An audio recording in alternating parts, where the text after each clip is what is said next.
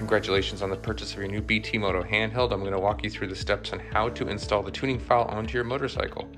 First, you'll receive a box. In the box, you'll have the handheld and two cables. This is the handheld, obviously, and you have the diagnostic port cable. They may look different than this, and you'll have a cable that goes to your computer. They all look like this. Um, so first thing you'll do is verify that the handheld and these contents are in here, and next thing you'll do is download the software from our QR code right here. If you do not know how to use a QR code or don't have a smartphone uh, enabled device, go ahead and go to www.bt-moto.com forward slash resources, and I'll put that on the screen here. Then we'll go to the computer from here.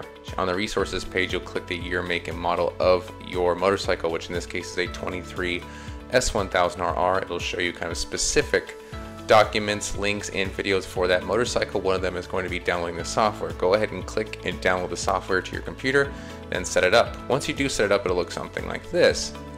After you set this up, plug in the handheld, you'll only have these two illuminated. You're gonna update the handheld. Try to update it. If it doesn't let you update it, that's fine. Go ahead and try to read your bike. Now that you updated your tool, take it to your motorcycle and plug it into your onboard diagnostic port. The onboard diagnostic port varies from bike to bike. This is an S1000RR, so it's in the tail here. Some are will be under the rider seat, and some actually have different kinds of looking connectors, and some actually require you to plug into batteries. If you have difficulty finding your port, you can go ahead and email us. Assuming you can find your port, we'll move on to the next step here, which is reading the motorcycle. So we'll go to work, enter. This is a BMW, so we'll go to BMW. It's an S1000RR. And we're gonna go through 19 through 22. This is a 23, but this will work for the uh, 19 through 22 selection. Now it's gonna read you through some steps here. It's gonna ask you to key on, so I'm gonna need the key here. Let's key the bike on. Let's start communication, read it. This process takes, this process on this bike doesn't take very long.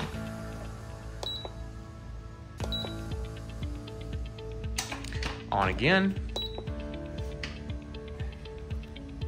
Switch it off. Now it should tell me the flash protocol which there it is, the identity, uh, identity right there.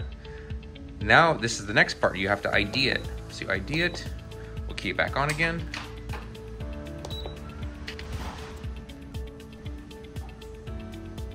Now we're gonna go ahead and switch the dash off. It's completed successfully. Now to go back to the main menu, now we're ready to take this back to the computer.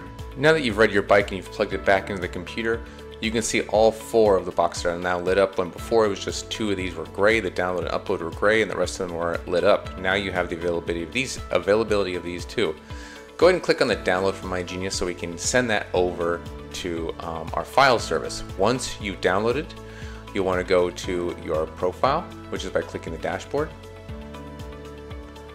and you can see here you have a few options you're to go to my files you're to upload a file it should have your order numbers here. Um, if it doesn't have your order number, please email us. You'll go ahead and pick your file here. And you can see I already put that in there. I go to next. You're gonna to want to answer all of these questions. Now that you have the questionnaire filled out, you'll go ahead and click next. Now it says the file's been submitted. Expect one to two business days for a reply. Once you receive the file from BT Moto, you should get a notification here um, and you also should be uh, getting an email that says the files are ready for download. In this case, I just made it where it's two files ready to download. So you can download both of them. In most cases, it will be one file. So just click and download that. And once you download it, you can open your software.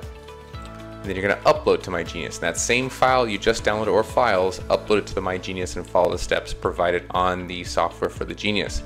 Only upload one file at a time. Now we're back at the bike again. We're ready to put that new file or the tune file into the motorcycle. So we'll go to work. Now you'll see writing. And we'll go over here to tune file. I've got a few files here, so you just kind of select left and right if you have multiple files. So we'll click tuning file here. Now this is very important. Make sure you connect it to a battery uh, or some kind of um, battery tender. Ask you to turn that thing on there. Now, some of these bikes, they take a very long time to flash and sometimes long to read. If it's flashing and for some reason um, the motorcycle will lose battery, you would brick the ECU. So it's very important that you go ahead and plug this thing into a battery tender or a battery charger before you start this process. Now, as we're starting the process here, you can see it's getting going. Um, this will take a little bit of time, so I'll just fast forward things as they go. Just for uh, follow the on screen prompts. It'll ask, ask you to key on and key off a couple times.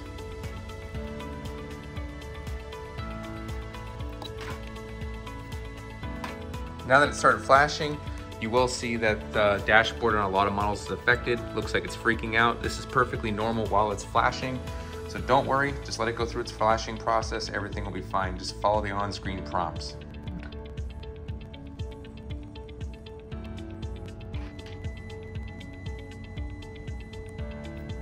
All right, now I can switch the dashboard off.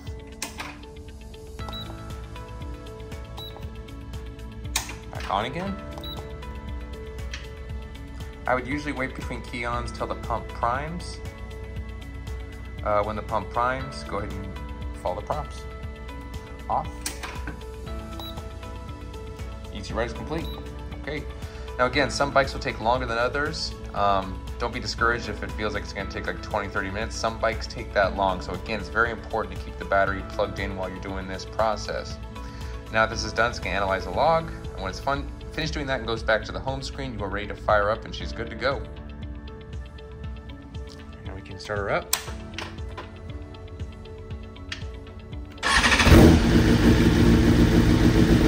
Go. That's a wrap.